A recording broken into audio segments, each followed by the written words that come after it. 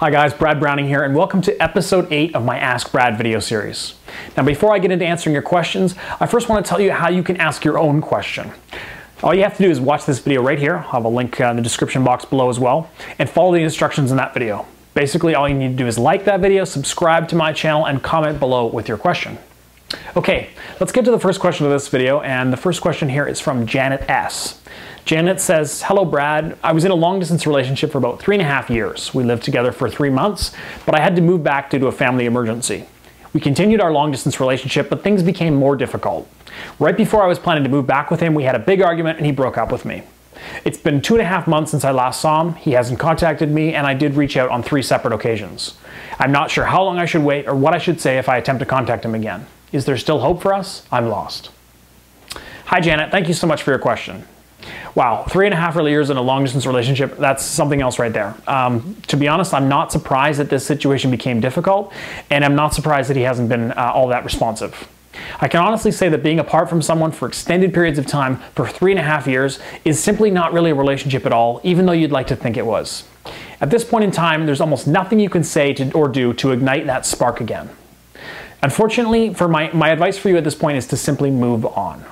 Through extensive no contact, he might reach out to you again, but it's a long shot. And even if he does, it'll be almost impossible to rebuild that level of attraction and love again without physical contact. So I'm sorry to say this, Janet, but my advice for you at this point is simply to move on. Sorry to be the bearer of bad news, and best of luck. Okay, and the next question is from 143 I Love of You. And uh, she says, My ex and I broke up about two weeks ago. We texted on and off for about a week, and then I decided to start using the no contact rule. On day one of no contact, he texted me, which I ignored. It's been a few days and he hasn't tried to contact me again.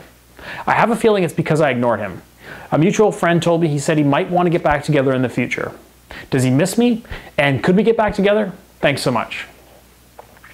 Hi, and thank you very much for the question. And good on you for doing your research almost immediately after breaking up and um, employing the no contact rule. By doing this, you've probably increased your chances of getting your ex back by quite a lot. Um, and it's no shock that your mutual friend told you he said he'd be open to getting back together with you in the future. However, you have to act fast here and use all of the material that I teach in my Ex Factor Guide ebook. To watch the video on what my Ex Factor program is all about, just go to breakupbrad.com. One thing you can start doing right now is to act like a scarce commodity. At this point, he probably thinks you're still into him and he probably thinks that he can have you whenever he wants. So what you need to do is reverse this thinking completely and show him that you're a highly sought after person. There are many ways you can do this. Um, one of the best is that you can you can spend a lot of time having fun with your friends, because once he sees you out enjoying time, enjoying your time with your friends, and you know hanging out, being social, he'll begin to think that you don't miss him as much as he initially thought.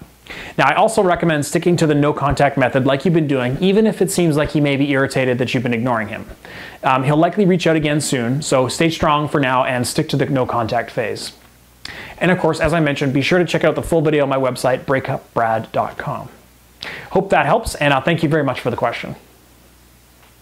Okay, moving on to the next question, which is from Faith Newlyn, and Faith says, My boyfriend has recently asked for a break due to issues at work and a few misunderstandings on my part. We live on opposite sides of the world, and it's an online relationship.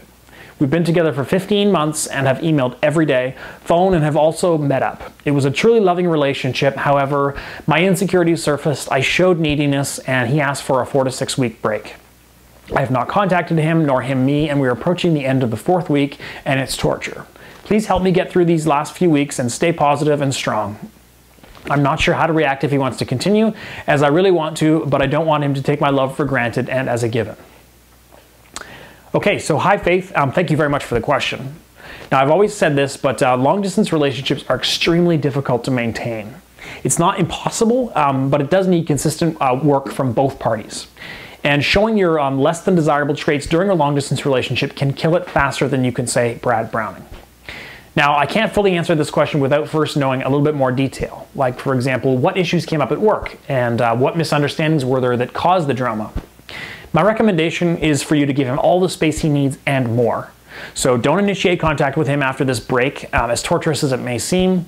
See what he says first. Uh, right now, he probably thinks that he has all the power in this relationship, but you can't let him think that way. Um, oh, and by the way, Faith, if you want some, um, if you want to explain your your situation in more depth, all you have to do is sign up for my personal coaching program. Um, to find out more details on that, just go to breakupbrad.com/coaching, and you can register there. Sorry, I can't answer in depth uh, here in this video, Faith, but uh, thanks so much for your question. And that just about does it for episode 8 of my Ask Brad video series. Thank you very much to all who submitted your questions. Uh, and click the link below if you'd like to uh, submit your own question. I also really appreciate your uh, likes and subscribes. Thanks a lot, everyone. We'll see you next time.